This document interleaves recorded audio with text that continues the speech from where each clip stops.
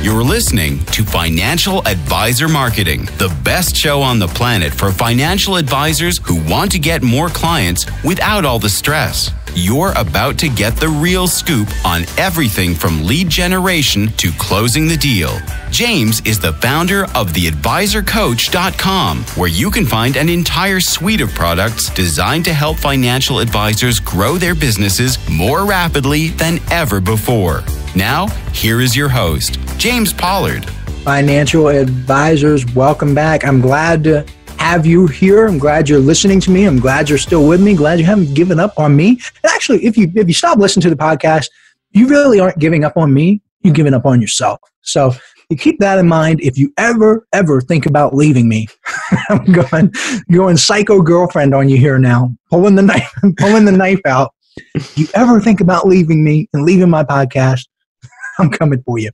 Today's show is about why your experience doesn't matter. And the inspiration I got from this is because I send out emails all the time. Like every day, I send financial advisors an email, at least to my main email list. I have sub lists and all that that they go through on their own, but I email my main list every day.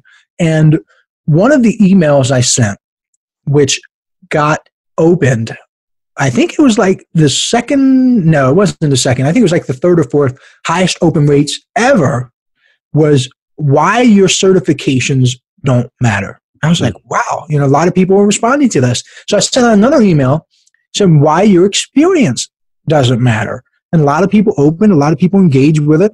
And I was like, maybe I'm on to something here. Because I speak nothing but the truth in my emails. And so I figured I, I wanted to do a podcast talking about it. I want to talk about why financial advisors, why their certifications, why their experience doesn't matter as much as they think it does. Now, Jonathan, have you ever encountered someone who believes that just because they know a lot of stuff that they should be successful? That was uh, that was the thing in real estate. They they would get all those designations, and their business card would be full of them, and they didn't know how to market a damn property. Yeah, yeah, and it's sad when it happens because their intentions are good. You know, these are not bad people. It's just that they they they have the wrong data they believe something that just isn't true. They believe having all the information and reading all the books and being a professor of finance, that's what I call them. they, they, I, I don't mean that. It's not like a derogatory thing. It's just so people know that the, the, professor of finance is just the best way I could think of to describe it. I, I guess if I think of something better, I could change it. But right now, that's like when I say professor of finance, that's what I mean. I mean the people who have all the knowledge and all the certifications, but they struggle with the marketing. And, and a lot of people believe that that stuff is going to make them more money, and it's dumb. And my uncle, actually, my uncle was not a financial advisor, but he did have his own business. Actually, he had several businesses, but one of them was much more successful than all the rest, like combined. So he had one business essentially, and he used to hire people all the time, and it was it was like a high turnover business, kind of, sort of. And but he was in front of people all the time, and after like a year, six months, somewhere along there, uh, people would ask for more money because they had more experience. And some people would ask every year. And uh, on a yearly basis, they'd be like, okay, I've got three years of experience, I want to raise. Or they'd be like, I've got five years of experience, I want to raise. My uncle would ask these people, he would say, Do you have five years of experience or do you have one year of experience repeated five times? And I thought that was brilliant. And that I, I've noticed that. I, I used to work jobs uh, back in when I was in college. I used to work at a casino. And a lot of people don't know this about me, but I did. I worked at a casino. And if you're an inner circle member, you, you're, you're getting my print and ink newsletter delivered to your door every single month, packed with marketing information, uh, one of the things that I discuss maybe two or three times a year is some, some of the things you can learn from casino marketing because it's something that I was involved with on a regular basis, you know, throughout my not formative years. You got to be you got to be 21 to even go into a casino, but I guess for me, 21 and up was my formative years. Late but, bloomer. Yeah, eh, people would tell me certain things, and they they would complain. They'd say, "I've been at this casino." The, the people working there, not the gamblers. They'd be like, I've been at this casino for 10 years I've been doing such and such. I have been putting food out at this buffet for 10 years and they still won't pay me no more. well, how I mean, how skilled can you get? And I'm not knocking people who work at buffets or anything, but I mean, how skilled can you get? How how much more advanced can you get with your skills at the buffet? But anyway, I thought that was brilliant. How my uncle would basically say that, and a lot of financial advisors, they act that way. They get all of this experience, and they they learn all of these things, but they still can't get clients. So they say that they have five years of experience and five years of knowledge, but the truth is they only have one year of marketing experience. They, they only know one or two things versus the hundreds of things that they could have learned in those five years where they were hitting the books and becoming professors of finance. They could have learned a lot of marketing strategies and they could have helped a lot of people. So, yeah, it's something to think about. Now, Jonathan, I'm going to go into this podcast. Have you ever heard the story about Joshua Bell, the violinist? I don't think so. Well, this guy was, or is, still is, one of the world's best musicians. And he's a master on the violin. This guy, he sells out theaters, orchestras, like shows all over the world. Like he is like a master. And one day he played in a subway station. I think it was Washington, D.C. And he got virtually no attention. And he even used a violin that was worth like three or four million dollars. So he's got this super expensive violin, wow. one of the best in the world. He's playing one of the best pieces of music you can possibly play, and he is one of the best musicians on the planet. So you've got triple best there, you know, and nobody, cute. yeah, nobody paid attention to him. He was playing and playing. I think one lady gave him like a dollar, something. It's like another lady might have given him like a fiver or something like that. It goes a long way towards paying for that violin. Yeah.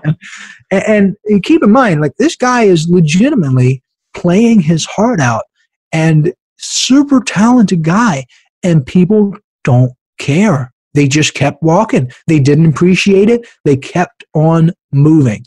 And the moral of this story because I, I always try to tie morals into my story. Uh, financial advisors should have morals, yeah, and, and my story should have morals too. But the moral is people don't recognize talent unless you explicitly tell them. Hey, financial advisors, are you ready to take your business to the next level and get more clients with less stress? I invite you to join the James Pollard Inner Circle, a paper and ink newsletter that gets delivered directly to your door every month. When you join now, you'll also get a 90 minute instant download called Five Keys to Success for Financial Advisors, a $97 value for absolutely free. All you have to do is head over to theadvisorcoach.com forward slash newsletter and join today. You're a really good, you know, podcaster, producer but nobody would work with you if you didn't tell them, Jonathan. I better get on that. nobody would work with you if you if you didn't tell them and let the world know. And, and I don't want to get too off track, but there are some financial advisors that they believe that being modest and being humble and not marketing themselves is a good thing. What? Yeah. It, no way. No way. No way. They believe that not getting their message out and not helping people. these, these people need help. Like people, if, if you're a corporate executive and you're on call pretty much 24 7 and you've got your 401k and all this money in your portfolio and you've got the bonuses and the corporate options, like you're not paying attention to that. You're paying attention to your job. You need someone to look after your money. You need someone to help you with your financial situation. You need somebody to ensure that your children are taken care of. You need somebody to make sure that your grandchildren like know the grandfather's name. Like leave him something. You, you need to make sure. And there are people out there that can help you. Financial advisors out there that can help you with this. But they, they, they can never make the connection that in order to spread their value in order to make a difference in the world they have to market. You they think they feel like it's bragging james? They do. They do feel like it's bragging. And obviously in financial services you cannot brag about like investment returns you can't brag about like you know past performance or you obviously can't guarantee anything. You have to be very careful as a financial advisor and you have to tiptoe around compliance. But that does not mean that if you work specifically with dentists and you're helping dentists and you're making a difference in a dentist's lives it doesn't mean that you can't go out and get more. It doesn't mean that you can't go out and let other dentists know hey you know i'm a guy who works with people just like you and i help people and i make a difference. Let's get together. You know, you're a dentist. I'm a financial advisor who works with dentists. Let's get this thing moving. That's essentially what it is. Now, the the guy, the, the reason I brought up the guy with the violin, the Joshua Bell, is the the it's one of the biggest keys to success as a financial advisor because if this guy got no applause, got nothing, what makes you think you're going to get people coming to you unless you actively market? Like people think that they could just sit back and coast and relax, and they think that it's bragging, or they think that you know they're too big for the britches or whatever. Somebody said that to me, but it's it's arrogant for them to think that people are going to flock to them and come to them with them doing nothing. Like that's actually, if you think about it, that's way worse. Like that's super arrogant. You're not even close to the best in the world. You're not even close to a regular violinist is nowhere near what Joshua Bell was. And if Joshua Bell couldn't get these people, what what would the average person playing the violin to think that people would stop and applaud and give him money? It's just it's nuts. It's totally arrogant. And if you can get that, like at a, a mental level, things will change. And that's actually really important. And it really is one of the keys to success as financial advisors. And and like I said, over the years, I've noticed that these professors of finance are often the least successful because they can crunch numbers, they can recite facts, but they can't get clients, even if their life depended on it. And, and, like I said, the sad thing is that these people are genuinely brilliant. They could help a lot of people.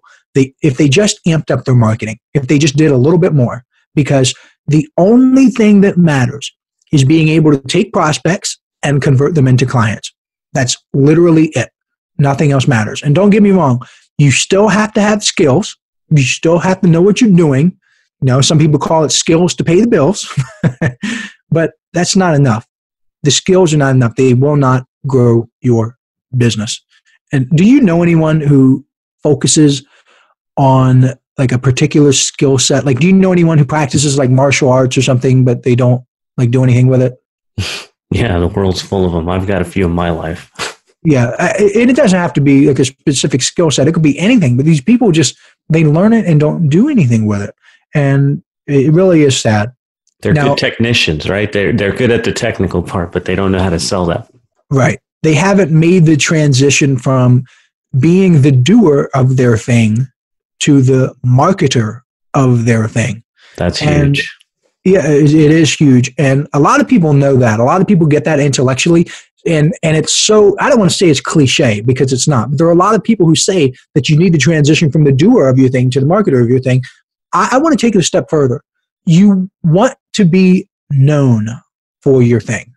Because if you're known for your thing and you go out there and actively market, that it, it just blows the hinges off everything else. Because if Joshua Bell, obviously he's known as the doer of his thing, and uh, there were, there were some people that walked by and just simply didn't recognize him. Like they didn't know the music well enough to appreciate that it was played at such a high level, but they they consciously knew Joshua Bell. They knew who he was. They knew he sold out tickets. So if he was on the street and he had a big sign that says "I'm Joshua Bell," you know, one of the greatest musicians alive, and he was playing the violin, even if he was in a subway wearing like raggedy clothes and he looked like a bum, even if that happened, he would still have got more money people still would have stopped. They would have said something, you know, because he had marketed himself. He got good at the skill and he got good at, if he got good at the skill and he got good at the marketing, everything would have been different. I promise you. And so many people think as long as they get good at their thing, whatever it is, they think everything will be okay. So it's just mind blowing to me. You, you want to become the marketer of your thing and then you want to be known for what it is that you do. If you work with dentists, I know that's the example that I go with. You want the dental community to know about you and what you do. But at the same time, you want to approach them and you want to make it known that you're ready, able, and willing to make a difference in their life. Because if you can become a good advisor and a good marketer, you'll be unstoppable. Yeah, I think that does. Did you read the E Myth? Because it, it kind of reminds me of how people break off and do do these careers, but th- then they just really make a job for themselves because they never grow past to doing the good work to the marketer of the good work. Yeah, I did. I did read the E Myth a few years ago. I faintly remember an example with like the lady with the cupcake business. Yeah. Is that in there? Yeah. yeah. So the lady had she got really good at the cupcake stuff, I guess, and she thought a business would solve her problems and make her more successful and happier and all the things that people want. But you know, if I remember correctly, she just spent all day in the cupcake store and just got trapped. And financial advisors, this happens to advisors all the time. They they get the knowledge, they get the skills, they get the certifications, they get the experience, you know, five years worth, 10 years worth, but they only have one year or two years of marketing experience. They have to go up at the same rate. And I would argue that your marketing, you should actually have your marketing go up faster than your experience because then you'll never have a client problem. You will never, I promise you, you will never have a client or prospect problem if your marketing is better than your experience. Like, you just won't. Now, you may not be able to keep clients if you don't know what the heck you're doing, but I'm here to help you get clients. And that's just how you do it. No simpler than that. Good stuff. So, what's coming up next time, James? Next time, we're going to talk about how you can make prospecting suck less. That sounds incredible. People hate prospecting, so I'm going to make it make it not as sucky. Perfect. All right. Another show is in the can. We'll be back in your earbuds next time. Thanks for tuning in. This is the podcastfactory.com.